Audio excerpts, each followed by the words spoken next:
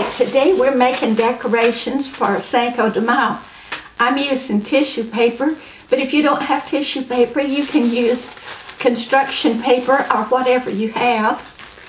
I'm just gonna move this aside and show you how to fold. Is kind of a square or a rectangle. Fold it once like this. Then again, fold it in half.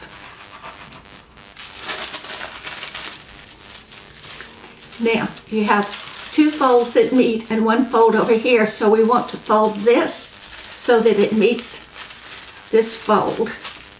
Now, make to make it square or a kind of a rectangle shape, you want to cut it straight across so that you cut that point off. Just like this.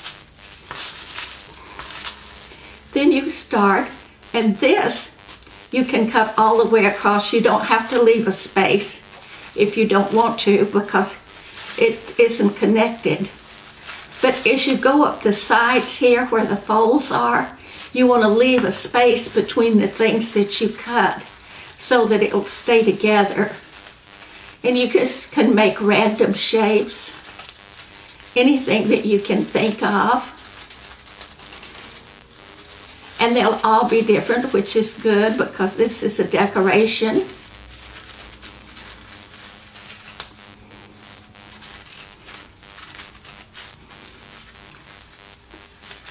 I'm not going to cut a lot because you get the idea.